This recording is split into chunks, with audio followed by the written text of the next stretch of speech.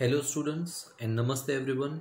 I am Dhaval sir and our today's topic is your civics chapter that is your chapter number 3 Indian Constitution. Students, this is one of the important chapter for you to understand because in this chapter you will understand what is constitution. So, to understand what is constitution let us begin with the introdu- uh, introductory paragraph of your textbook, which says that to play a game, we need to follow so many rules and regulations, and if such rules and regulations are not there, then we won't be able to enjoy game in a right way, right? Uh, many a times you might be playing games with your friends and everyone, and you might have noticed that before starting the game you decide some rules and regulations. Why these rules and regulations are necessary? Because if there is no rule and regulation in a game then we won't enjoy playing the game in a fair way right? Cheating may arise and we don't enjoy the game. Okay so rules and regulations are very necessary. Okay then if there is rules and regulations then it becomes very interesting for us to play the game. Okay?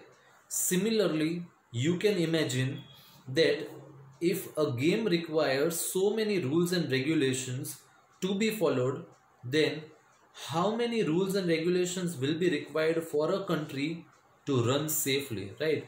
So it is a very important question that if a small game needs so many rules and regulations then a country like india right in which there are lakhs and lakhs of people crores of people. Then to manage that country effectively that means to run that country smoothly how many rules and regulations are necessary right? So in order to run our country safely and properly a systematic compilation of set of rules to run the government of a country is formed which is known as constitution of our country. Okay again i'll say that is a systematic compilation. Compilation means what? Right so compilation means uh, to gather the information together. Right from different different sources we gather the information and we put that information at one place. That is known as compilation. So a systematic compilation of set of rules.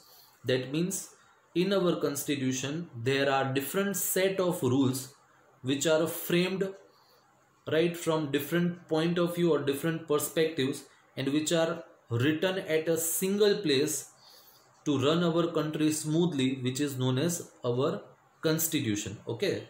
So constitution can be in a written or oral form right? Here you can see that is the constitution can be in the written or unwritten form. Unwritten form or oral form right? So from this i can say that our india's constitution is the largest or the longest written constitution in the whole world right? So this thing is very important to learn that our india's constitution is the largest or the longest constitution. And even it is the written constitution okay? It is the written constitution and which is in the largest or the longest form in the whole world okay? Then immediately a question arises to us that why do we need a constitution? Or what if there was no constitution right? So the answer to this is that no country can function without a constitution. How? Uh, you can imagine that if you are going outside your house if you are going somewhere and someone comes to you and points a gun at you he loots away right? He does robbery or loots away to you then what will happen? If there are no rules and regulations you won't be able to do anything. Then we'll take another example if there is a fight taking place between two different person or a people or a group of people and in the fight they kill each other. No rules and regulations are there. Then what will happen? Every time whenever there is a fight or every time we don't like anyone will kill that person and will not be worried about what will happen to us because there are no rules and regulations. Right? So for a country to run effectively it is very very important that there should be some systematic set of rules and regulations which is compulsory for all the people to follow and so that the country can run effectively. So in our country such systematic set of rules and regulations to run the government is known as constitution. Okay? Is it clear everyone? Fine. So we can say that constitution is a document which finally views the ethos and ideals of a country. Ethos means what? So constitution is a document which states it shows us that is the ethos means the spirit or a spirit of a culture of a community and its attitude right? And ideals. Ideals means what? So ideals means the standard or the principles which are aimed right? So we can say that our constitution that is the constitution of india shows us the characteristic spirit of our culture right? In our constitution our culture is represented right? What is the standard of our country? What are the principles of our country? All these things are mentioned in our constitution. Okay. Now the constitution tells us about the kind of government our country would have. Right? Right now i'm discussing about constitution that what are the features of constitution or how or in what way the constitution is helpful or useful to us or what kind of information does a constitution provide to us right? So as i said that the constitution tells us about the kind of government we would have right. So if we will know that what kind of government we will have then and then only we can come to know that how our country will be run by such government. Okay. So as i said our constitution tells us about what kind of government our country would have how to run the administration of our country. Right. So the question or the answer to all these questions will be provided in our constitution. Okay so all these things are mentioned in our constitution and if we have a look at our constitution then it begins with a preamble. So this is the most important part right? Here you can see the preamble of our constitution right? So our constitution begins with the preamble. So what is preamble? Right. So preamble of the constitution is the brief introductory statement. Right. It is a very short statement that sets out guidelines. That means it gives us guidance. Right. It sets out guidelines principles and philosophy of the constitution. That means it tries to tell us that what does our constitution consist of? What are the guidelines in the constitution?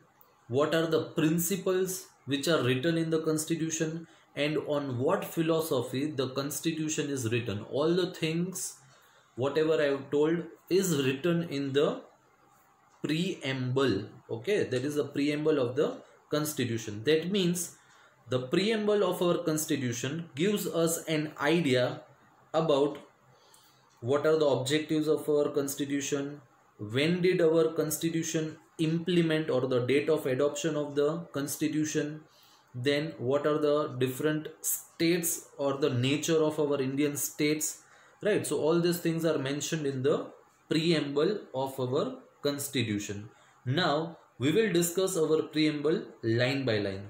So as you can see it starts with we the people of india have solemnly resolved to constitute India into a sovereign socialist secular democratic republic and to secure to all its citizens justice social economic and political liberty of thought expression belief faith and worship equality of status and of opportunity and to promote among them all fraternity assuring the dignity of individual and the unity and integrity of the nation. So this is what is written in our constitution. So we'll understand it one by one right? So here solemnly in the second line first word you can see solemnly. Solemnly means what? So solemnly means with deep sincerity right. Solemnly resolved. Resolved means what? So resolved means to firmly determine right? If we are determined to do something very firmly that means resolved. So we the people of india have solemnly resolved. That means we have sincerely decided or we are determined to constitute india into a sovereign. So here sovereign means what? Sovereign means that it has powers. That is we are talking about india right india has powers to make or enact any laws on any subject. That means the indian government can make any laws or it can implement any laws on any subject. Right so we can say that india is a sovereign state which means that it is an independent authority and it is not dependent on any other external power. So there is a meaning of sovereign in simple words if we say sovereign means it has the power to do whatever it wants to without the control of anyone. Then comes the word socialist.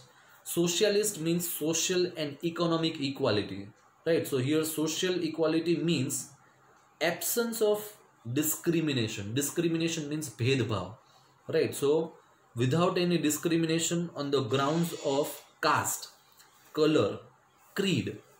Creed means uh, it means a system of religious belief or of faith right? So sociality uh, socialist means uh, equality without any discrimination on the grounds or without any uh, without any discrimination on the grounds of color caste creed religion language etc right? Then comes the word secular.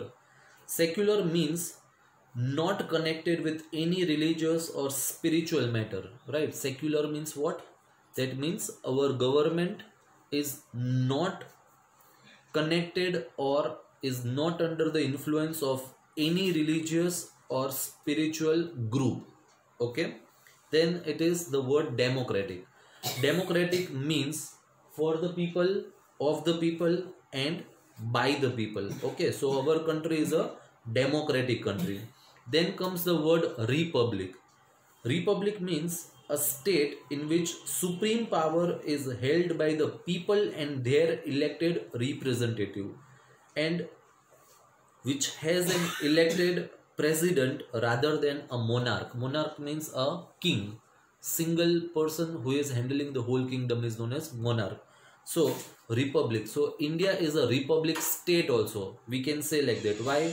Because it is a state in which the powers that is the power is held by the people. The people are or the public is the supreme. They have all the powers right? They are the ones who run our country. They through the election process elect their representatives and they run our country. So as we have discussed the difficult words that is like sovereign, socialist, secular, democratic, republic, etc. Right? So we'll again read out the paragraph. We, the people of India, have solemnly resolved. That means we have decided to constitute India. That means we'll form our India into a social, secular, democratic republic and to secure to all its citizens that means to provide our citizens with justice justice in which way? That is social. That means in the society whether you belong to a different religion caste color creed economic that means related to money and political. Okay so justice in all the way. Then liberty. Liberty means what? Liberty means freedom. So freedom of thought freedom of expression belief faith and worship. So we should have freedom that is liberty in all the fields okay? Then it is equality equality of status and of opportunity. That means all the people all the citizen of the india should have equality. That means whether he is a rich or a poor or he is a whether he is a vvip person or any other person his status in the country is equal right? We cannot discriminate that person on the basis of his status. And each and every person of our country should be provided with equal opportunity right? And to promote among them all fraternity right? So fraternity means what? So fraternity means friendship and mutual support within a group okay? So to promote among them all fraternity assuring the dignity. Again dignity means respect of the individual and the unity and integrity of the nation. So again, integrity means undivided or we can say unity. Okay. Integrity means unity also. So that's it what is mentioned in our preamble. Then further it is stated in our constituent assembly. Now what is constituent assembly? So constituent assembly is a body, right? It is a body that is which is formed with the help of a group of people who are elected representatives right? And they are gathered okay or they are assembled together in a body or in a group for the purpose of drafting a constitution or making any changes in the constitution. Okay so that group of people is known as constituent assembly. Okay so in our constituent assembly, this 26th day of November, that is 26th November 1949, do hereby adopt, enact and give to ourselves this constitution. So when was our constitution adopted or implemented? That is 26th day of November 1949. Right and this is the date when it was adopted. That is when it was formed. So there is another date which is very important for us to know. That is 26th January 1950 this date is very important because on this day our constitution was actually implemented right 26th day of november 1949 is the date when our country adopted or formed or framed the constitution and 26th january 1950 is the day or date when our constitution was implemented. And that is the reason. Means implemented means it came into force. Right it actually started in the working condition. Means it was enforced okay? And that is the main reason why we say uh, why we celebrate our republic day on 26th january right? Because it is the biggest day for our country because our constitution was implemented. And as i have discussed earlier that a constitution is a set of rules and regulations right? So it is a very important day for us because on that particular day that is 26 january 1950 our constitution was implemented and we all were the happiest people because we can imagine that if our country does not have the constitution then it would become impossible for us to live our life with safety. Okay so here we end with the explanation of preamble of constitution right? Then it is given that how was the Constitution of India formed? Okay, so the Constitution of India is the statement of national goals and aims such as democracy, socialism, secularism, national unity, etc. All these things we have already discussed. The Constituent Assembly was established. It started working from the 9th December 1946. So this is the date when our Indians they formed a constituent assembly. Why it was formed? As I've already discussed, that it is formed or it was formed for the formation of the constitution. The Constituent Assembly was formed of prominent and distinguished scholars and leaders. So here prominent means what? Right, prominent means important or famous people.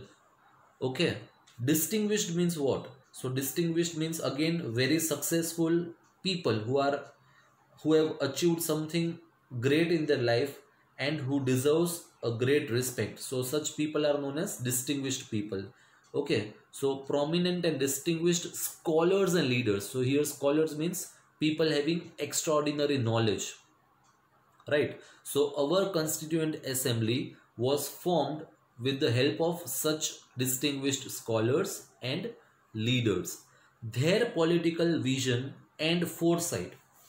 So their political vision. That means today we are living with peace and security. Is just because of these people because these people were those who had thought about our future and who had framed all the laws and rules and regulations of our country. Okay leaders like jawaharlal nehru dr rajendra prasad sardar patel maulana abul kalam azad Shyama prasad mukherjee sardar baldev singh etc provided their guidance so these all are the important people who have given their important contribution in the formation of our constitution. Frank Anthony represented the Anglo-Indian community. Now, Anglo-Indian community means what? So, it is a group of people who are a mixture of Indian and British or English descent. Right? as we all know that the britishers they had come to india and they had ruled for almost 200 years right so after the british left even there were still many people in our country uh, for example i'll tell when the britishers who lived over here uh, they married some indian people right so the mixture of both the indians and the english people right so those who were born or living in India, they have formed an Anglo-Indian community, right? So this is the group of people who have formed the Anglo-Indian community. So here it is given that Frank Anthony represented the Anglo-Indian community and H.P. Modi represented the Parsi community. The committee had various constitution scholars like Alladi Krishnaswamy Iyer, Dr. B.R. Ambedkar, K.M. Munshi, etc. So these are the scholars, right, who have helped us to form our constitution. There were female member members like Sarojini Naidu and Vijayalakshmi Pandit. Okay, so these are the uh, females.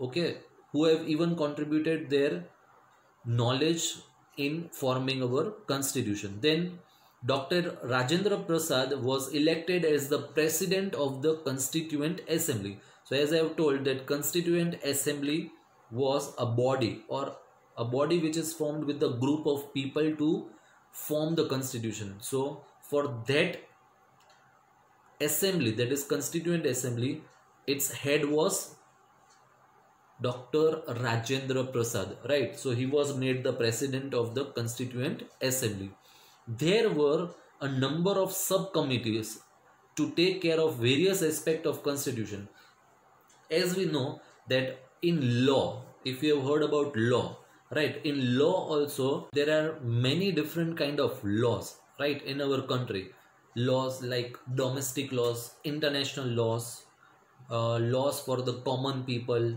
laws for the criminals right? So these are the different different fields in which and there are still many different laws right? Laws for the business commerce and many other laws. So all these different different laws when it is framed or formed they need experts in those particular field so as it is told that there were subcommittees to take care of various aspect of the constitution. That means for each and every aspect of the constitution right for framing different different laws different different committees were formed. The drafting committee which was headed by dr b r ambedkar gave to the constitution its final shape. That means when the constitution is framed first of all it is prepared all the guidance guidelines and everything is prepared right? Uh, taking the expert opinion of all the people and finally when everything is formed right? Finally the constitution is needed to be drafted. That means the it, it is needed to be finalized. So for finalizing what is to be kept in the constitution and what is not to be kept dr b.r ambedkar was made the head for that okay further. Total 166 meetings were held by the constituent assembly in a time period of 2 years 11 months and 18 days. So such a long period right? That is a period of 2 years 11 months and 18 days. That is almost 3 years right? It took for our leaders to frame our constitution. On 26th november 1949 the committee passed the constitution. That means the constitution was finalized which was enforced on 26th january 1950 enforced means it was implemented on 26th january. As i told that our constitution was implemented and therefore uh, it was a very big achievement and a great day for us. Therefore we celebrate it in the form of republic day. Okay